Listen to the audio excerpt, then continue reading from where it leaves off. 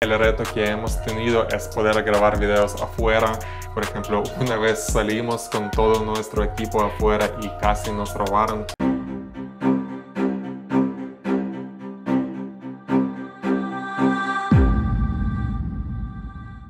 Es muy estresante ser youtuber. En uno de tus videos con esta mentalidad siempre irás adelante.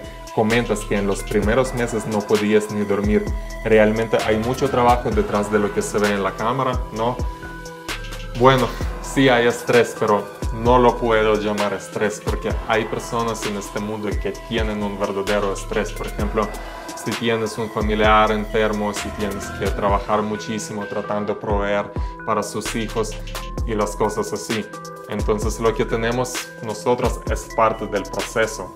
También no puedes ser todo perfecto en la vida y tener un trabajo que estás muy relajado. Así que tenemos un poco de estrés, pero lo vemos desde la perspectiva que es algo normal y que es algo que hay que superar y que con tiempo este estrés va aliviando mientras tú vas ya aprendiendo más cómo hacer las cosas de, de la manera más eficiente.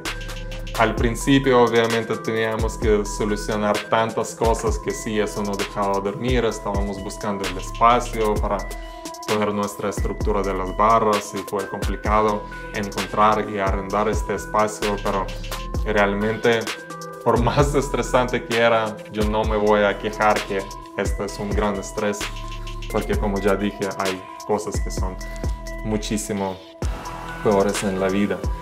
Y eh, sí, como siempre, detrás de lo que se ve en la cámara hay muchísimo más trabajo de lo que uno piensa. Es lo mismo que televisión o cualquier otro tipo de video. Uno cuando ve el video, prácticamente la cámara son sus ojos, entonces la persona a lo mejor ni piensa que ahí hay alguien grabando porque con uh, edición y otras cosas pueden haber uh, sus complicaciones, pero realmente es un proceso creativo, es un proceso que nos gusta, así que también no, no lo podemos llamar trabajo, sino es algo que nos gusta hacer. A veces pasan horas y horas seguidas que estamos metidos en esto Así que no importa cuánto trabajo es, lo más importante es que a las personas les gusta el resultado final. En tus videos hablas de retarte y salir adelante y de afrontar el miedo a lo desconocido. ¿Cuáles son los próximos retos de Buff Academy? Sí, es cierto, hay que retarse, hay que afrontar el miedo para poder evolucionar. Y el reto más grande de Buff Academy en el momento es evolución. No queremos estancarnos en lo mismo, queremos seguir trayendo el contenido que le gusta a las personas y para esto siempre hay que solucionar algunos problemas para poder movernos adelante. Por ejemplo, con tantos países que están en Europa, ahí va a haber muchísima flexibilidad para viajar y mostrar a las personas cómo la gente entrena en varios países o poder hacer el contenido más eh, versátil y más divertido. Y aparte de esto, el reto que hemos tenido es poder grabar videos afuera. Por ejemplo, una vez salimos con todo nuestro equipo afuera y casi nos robaron Así que teníamos que esperar que la tecnología permita algo nuevo, una cámara más discreta, más pequeña, que nos permitiría hacer el tipo de contenido que queremos. Y ya gracias a la tecnología lo tenemos y esto nos permite también hacer nuevo estilo de los videos uh, que también estamos ensayando, estamos viendo qué le gusta más a las personas, pero de cierta manera esto fue un reto. Sentíamos que la gente necesita algo diferente, pero a la vez la parte tecnológica, por más que queramos, eso fue un reto encontrar la manera de hacerlo. La pregunta que sigue es, en tu canal tienes mucha variedad de contenido, desde tutoriales para conseguir nuevos movimientos, muscle up, front lever, dominadas, a rutinas de ejercicio, consejos para llevar un estilo de vida saludable, videos motivacionales, hasta recetas de cocina. ¿Tienes pensado nuevos contenidos para sorprender a tus suscriptores? Sí, obviamente tenemos pensado nuevo contenido para sorprender a los suscriptores. Como ya había mencionado, queremos hacer más videos afuera y también, en fin, videos afuera del país mostrando cómo las personas entrenan en varios países, lo que comen para ser saludable, también mostrarme más desde el lado humano. hay personas que quieren saber lo que hago en la vida diaria o conocerme desde el punto de vista personal. Así que siempre pensamos cómo podemos llegar a este punto que nos permitiría digamos, tener esta flexibilidad y hacer los videos no solamente en, nuestro casa, en nuestra casa o en la terraza, sino poder traer algo realmente único a nuestros suscriptores, algo que es auténtico y que va a requerir uh, inversiones y trabajo, pero que al verlo lo van a apreciar y ahí van a aprender muchísimas cosas nuevas para sí mismo. La próxima pregunta es, una de las claves en tu canal son los videos con consejos motivacionales y de superación personal.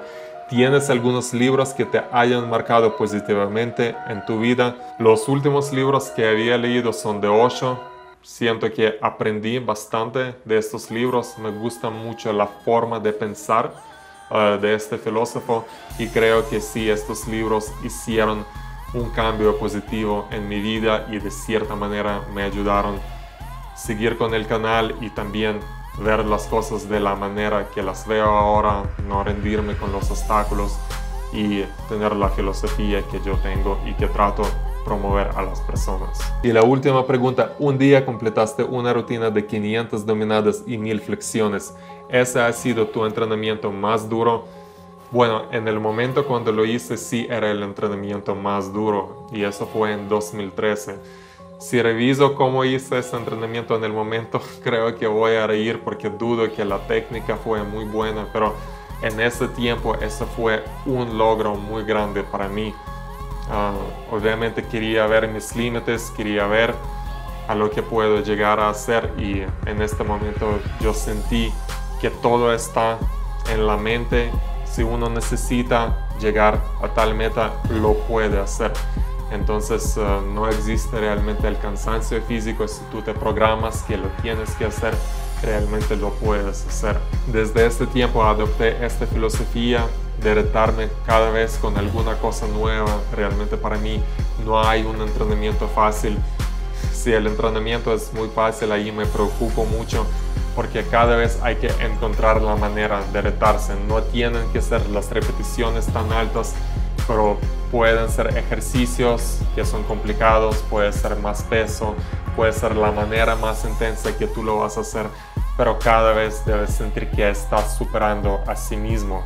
Y puedo decir que he hecho muchos entrenamientos en cuales tenía que sufrir, pero salí victorioso y después sentí que estoy un poquito más fuerte. Entonces también es mi filosofía cada vez ir por más, cada vez superar los límites, cada vez no parar y no estancarse en lo mismo, sino evolucionar de alguna manera, pero hacer todo para sí mismo solamente, no por la competencia con otras personas de ser mejor que alguien, sino ser mejor que tú eras ayer.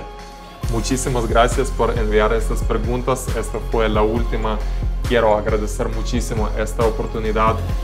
Fue genuino en todas las preguntas, respondí lo que realmente pienso. Espero que les gustó esta entrevista. Nos vemos.